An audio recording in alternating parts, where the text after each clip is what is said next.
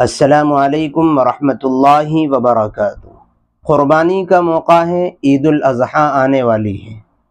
اس لیے آپ حضرات کی خدمت میں قربانی کے مسائل بیان کرنے کا سلسلہ چل رہا ہے۔ آج آپ حضرات کی خدمت میں قربانی سے متعلق پانچ اہم بنیادی اور بیسک اور اہم مسائل بیان کر رہا ہوں۔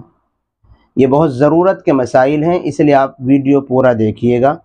اگر قربانی سے متعلق آپ اپنے بارے میں کسی مسئلے کو جاننا چاہتے ہیں، تو کمنٹس میں لکھیے گا، انشاءاللہ اگلی ویڈیو آپ کا نام لے کر کے اس مسئلے کے اوپر بنائی جائے گی۔ پہلا مسئلہ ہے کہ قربانی کے بڑے جانور میں عقیقہ کرنے والے شریک ہو سکتے ہیں یا نہیں۔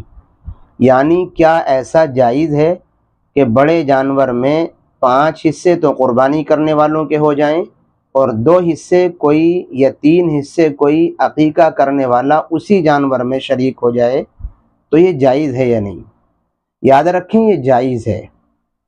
قربانی کے جانور میں عقیقے کے حصے لینا بھی جائز ہے اور قربانی کرنے والوں کی قربانی درست ہو جائے گی، عقیقہ کرنے والوں کا عقیقہ درست ہو جائے گا، دونوں میں کوئی حرج نہیں ہے۔ دوسرا مسئلہ ہے کہ کیا مرحومین اور مردوں کی جانب سے قربانی کر سکتے ہیں۔ جی ہاں مرحومین اور مردوں کی جانب سے قربانی کر سکتے نہیں بلکہ کرنی چاہیے۔ اس لیے کہ حدیث پاک میں آتا ہے، پیغمبر اعظم جناب محمد الرسول اللہ صلی اللہ علیہ وسلم نے ارشاد فرمایا کہ قربانی کے دنوں میں سب سے بہترین اور عظیم الشان عمل قربانی کرنا ہے۔ اللہ کو راضی کرنے کے لیے جانور کو کو ذبح کرنا ہے۔ اس لیے حضور صلی اللہ علیہ وسلم نے بھی تمام امت کی جانب سے قربانیاں پیش کی ہیں۔ تو ہمیں بھی اپنے مرحومین کے اصال ثواب کے لیے قربانی کرنی چاہیے۔ ایک بات اور یہاں یاد رکھیں کہ مرحوم کے لیے آپ جو نفلی قربانی اپنی جانب سے کریں گے اس کی قربانی کے گوشت کا وہی حکم ہے جو آپ کی اپنی قربانی کے گوشت کا ہوا کرتا ہے۔ یعنی مرحوم کی جانب سے کی جانے والی قربانی کے گوشت کو آپ خود بھی استعمال کر سکتے ہیں، مالداروں کو بھی دے سکتے ہیں، رشتہ داروں کو بھی کھلا سکتے ہیں۔ اس کا غریبوں کو دینا ضروری نہیں۔ ہاں اگر کسی مرحوم نے مرنے سے پہلے اپنی جانب سے قربانی کرنے کی وصیت کی ہو اور اس کی وصیت کی وجہ سے آپ قربانی کر رہے ہوں، تو پھر اس وصیت والی قربانی کے گوشت کو نہ تو آپ استعمال کر سکتے، نہ رشتہ دار مالدار رشتہ داروں کو دے سکتے ہیں، نہ کسی نہ پہچاننے والے مالدار کو دے سکتے ہیں، بلکہ وہ غریبوں کو دینا ہی ضروری ہوگا۔ تیسرا مسئلہ یہ ہے، بہت سارے لوگ یہ سمجھتے ہیں کہ گھر کے بڑے اور سربراہ کی جانب سے قربانی کرنا سب گھر والوں کی طرف سے کافی ہو جاتا ہے۔ یہ بالکل بے بنیاد بات ہے۔ ایسا ہرگز نہیں ہے۔